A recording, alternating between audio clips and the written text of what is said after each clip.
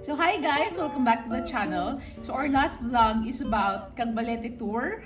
Ngayon naman, uh, medyo different siya. So our vlog for today is about what's inside the hospital bag. So yun guys, konting backstory lang. Right now, as of um, taking this video, we're around 39 weeks. So wait lang. Mag-ano tayo? Um, bump update.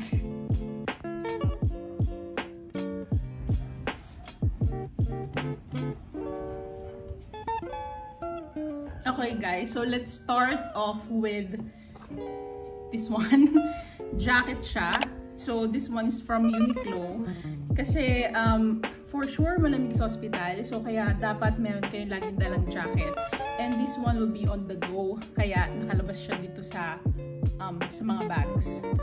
Nga pala guys, disclaimer, I'm currently at the province. So may mga tiktilaok na manok from time to time. So let's start first with this carry-on bag. So, ang laman nito are easy to access na mga gamit.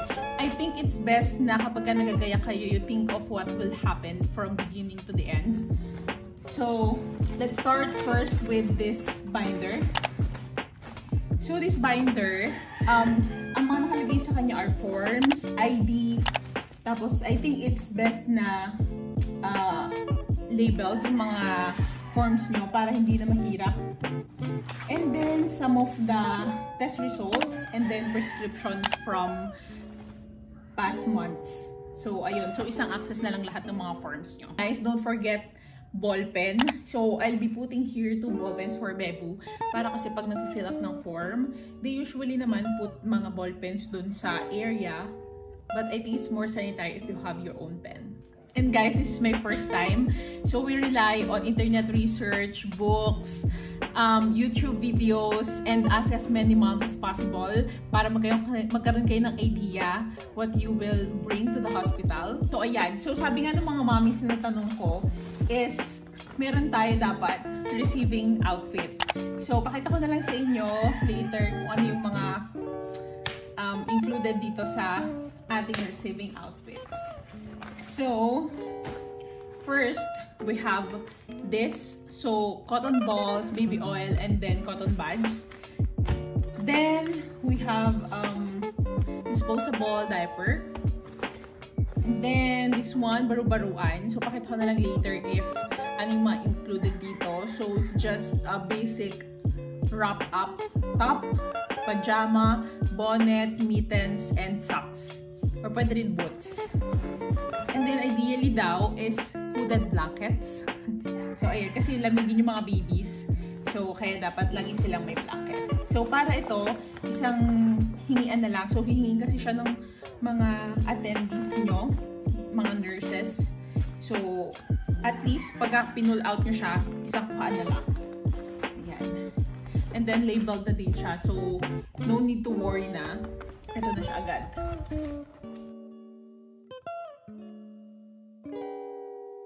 So guys, nakita ko lang to sa TikTok.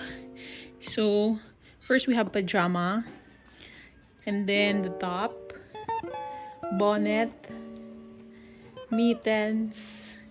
And then booties. And then, wrap nyo lang siyang ganyan. Shoot natin dito sa garter. Okay, then, tada! Isang ganyan na lang siya. Oh my God! Wow! Help with the packing is using a Ziploc. There's no need to buy naman. You can reuse yung mga meron kayo from buying stuff in the mall. But if ever you need, I will link down below yung pinagbilan ko ng Ziploc for my clothes and bebus. So our next stop is um, baby's toiletries. So we buy the one from Enfant. So mga parang sample sizes lang siya, yung mga maliit lang. And then, complete na siya with baby shampoo, baby bath, baby cologne, baby powder, and then soap. Then, nag-include na rin ako ng acetate de manzanilla. Kasi nakita ko dun sa mga vlog na if ever just in case, kailangan gamitin ng acetate. So, at least andito na siya. For baby grooming naman, we have here um, file, nail filer ni baby.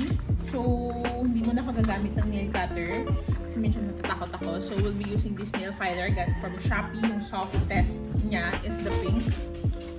And then, for grooming also will be using this Chico hairbrush.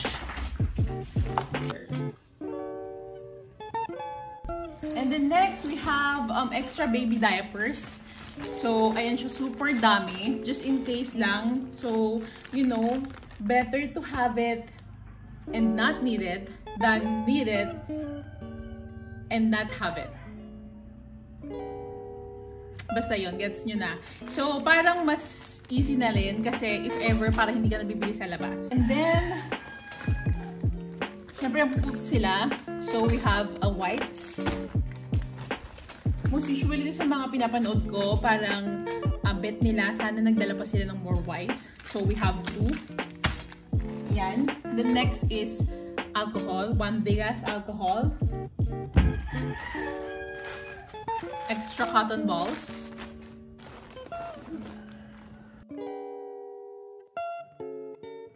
And guys, I almost forgot. Meron nga pala tayong dadali na dalawang baby bottles and then manual breast pump. So, just in case lang that we can't express milk right away, we'll be using formula. Pero sana naman po, Lord. and then, um, we also be using this Enfant bottle cleanser with this bottle cleaner. So here naman in this bag are my makeup, skincare, toiletries, and also some prescription medicine. So I got this bag from Shopee. So as you can see, sobrang laki niya. Let's start first with toiletries. We have Dove, Deeply Nourishing. Kasi I prefer this over yung bar soap. And then, facial wash. So we have our toothpaste, two brushes for me and Bebu. And then we have shampoo. We have conditioner. And then that's it. So for skincare, guys, we just have the basic. We have lotion, toner, essence, moisturizer. These three are biotin. Yung pink, I forgot kung anong line yon. And then this Laneige na wala na siyang, wala na siyang label. Laneige Sleeping Mask. Lifesaver, then comb, sunscreen, and then Dove unscented Dio, which I can't live without. Kahit di mo nakapaliguin, guys. Basta may ganito lang. So next are the makeup. We have um, Sky High. Oops, Sky High mascara from Maybelline. Same also with this Tattoo High Impact Liner. And then the OG curler, the vinyl at shade I forgot yung shade. Teka, cheeky. Pero hindi sa akin bagay ito guys. Kasing, kasing color siya ng lips ko. So, we'll be bringing this one. CMO7. Lips on Pulse. Kaso nga lang, ang problem ko, itong si Vinyl, hindi siya natatanggal agad. Pero to natatanggal agad. But I like the color. And then, we have here ang aking bio oil. So, di, hindi pa siya nalagay sa maliit na lalagyanan for stretch marks. And then, this um, heating pad. So, just in case lang na So, sobrang lamig talaga sa ospital. I have my heating pad. And then, we have this. sobrang laki. Lahat ng mga snacks. Siyempre, I think um, sa hospital, they bill like twice as much. Here comes the money! Here we go. So, better na meron kayong at least mga um, food para along the way, just in case lang naman for mga magbabantay and for yourself. Siyempre, we also have tumbler for water. Next, our devices. So, we have our phone, charger, and then in some videos, napansin ko, they also include um, extension wires dahil sabi sobrang layo daw nung um, saksakan to their bed. But in our case, we'll be using power bank. Yung iba din nagdadala sila ng cam, but we'll be using phone for that. So, we're trying to bring as minimal as possible. next naman natin is maleta. So, there's two sides dito sa maleta. First, we have yung kay baby and then yung sa amin ni Bebo. So, pakita ko muna sa inyo kung ano yung laman. First side. First item is the swaddles. So, gusto daw kasi ng mga baby parang nakasnuggle sila. Feel nila nasa womb pa rin sila. So, we'll be bringing three. Pero just in case na super, super lamig, we're also bringing this thick blanket kasi ano siya, um, two layer. One is soft and the other one is like a muslin cloth. And also, bath towel and washcloth. Just in case lang na papaliguan na sila. We also have here changing mat, waterproof changing mat, and then lampins. Ilang pieces ba ito? Basta maraming lampins. Tapos this will serve as a burp cloth, you know, parang general cleaning nyo or nagamit. And then, we'll be, um, we'll have two extra sets. And then, going home outfit. So, the next one naman we have is for me. So for me, we'll have um, adult diaper. Also have maternity pads. So wala pa no nung nag-check ako. So I have here yung super long and thick na whisper. I don't think this will hold, pero kaya bibili pa rin ako ng maternity pants or maternity pads. We also have yung nursing pads. So ayan, for leakage or And then, we also have sleepers. So, pwede na daw yung mga kinuha nyo sa hotel.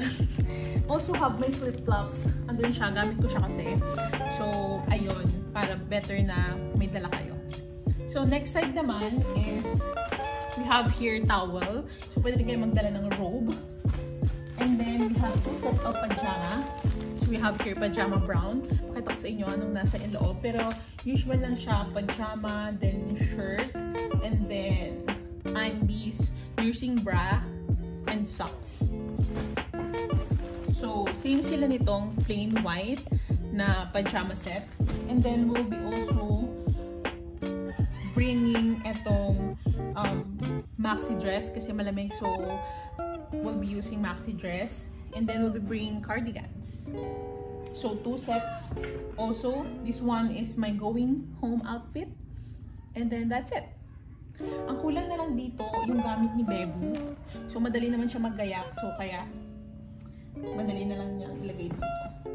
So, guys, for mommies, ito lang siya.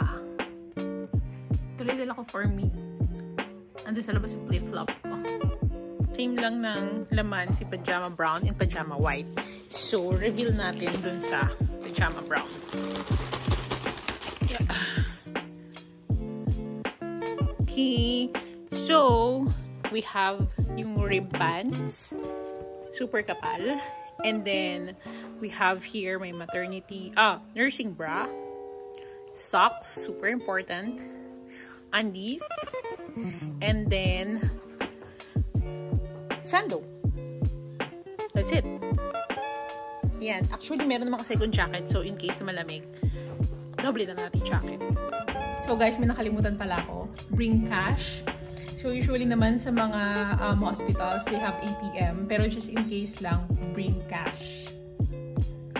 And isa pa, so pagdating nyo doon kasi, you will change into yung hospital gown. So, you dapat may dala tayo na, ang tawag doon, lalagyanan nung pinagbihisan nyo. So, like a laundry kinemer. Anong tawag doon? Laundry bag.